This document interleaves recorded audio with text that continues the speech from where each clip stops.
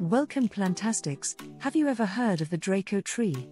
Join us on this exciting journey as we discover the scientific curiosities that make this species such a wonder of nature.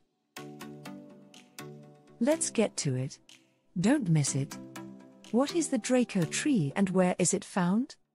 The Draco tree, or Dracaena draco, is a tree endemic to the Canary Islands, Madeira, and Cape Verde in the Atlantic.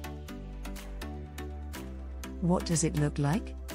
This tree has a unique and distinctive appearance. It has a thick, branched trunk, which can reach up to 20 meters in height. Its bark is rough and scaly, with shades of gray and brown. The leaves are long, narrow, and green, grouped in dense clusters at the end of the branches. What does its characteristic trunk look like? The trunk of the Draco tree is thick and rough, with layers that peel away, revealing a smooth surface underneath. This unique appearance has made it a symbol of strength and endurance. What is dragon's blood? Dragon's blood is the resin that oozes from the trunk of the tree when it is cut or damaged. It has been used in traditional medicine and in the manufacture of pigments and varnishes. Why is it called Drago or Drago millenario? It is known as Drago because of its red resin, which in ancient times was thought to be dragon's blood. The term millennial refers to the longevity of some specimens, which can live for several centuries. How does it survive in the wild? The Draco tree is an example of adaptation to an arid environment. Its leaves grow in the shape of a sword and are covered with wax, which reduces water loss through evaporation. In addition, its roots are able to extract moisture from volcanic and sandy soil. How does it adapt to adverse conditions? Its sword shaped leaves and dense crown allow it to survive in harsh environments, such as high winds and drought, in coastal areas. What is its ecological role?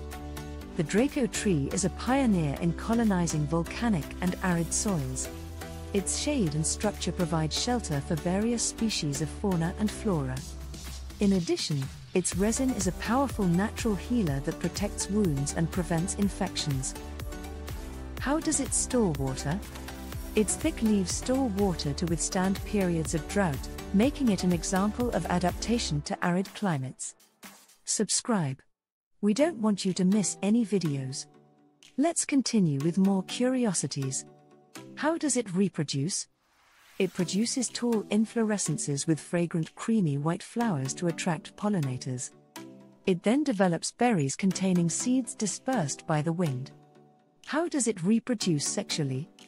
The flowers of the Draco tree are hermaphrodite and are mainly pollinated by insects, which guarantees the genetic variability of the seeds. What is its longevity?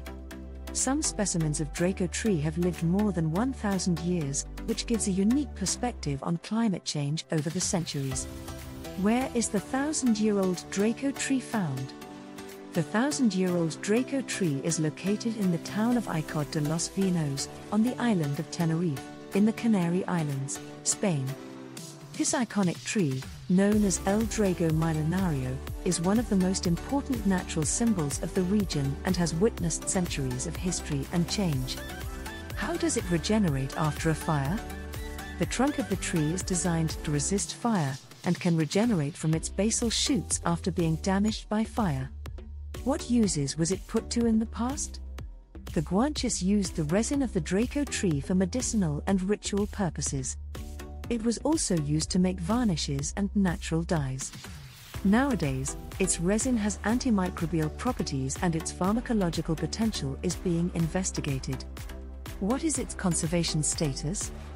The Draco tree is protected in many of the areas where it is found. However, it suffers from threats such as habitat loss due to urbanization and agricultural activity degradation of its environment and illegal harvesting also pose risks.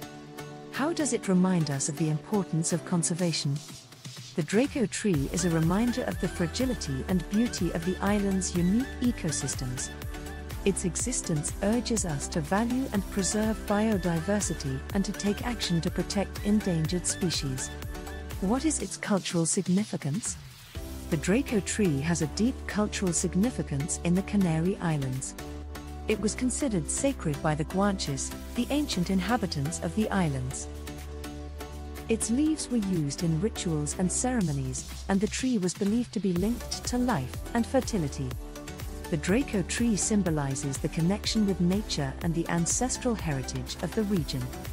We hope you have enjoyed exploring the scientific curiosities of the Draco tree. Keep exploring.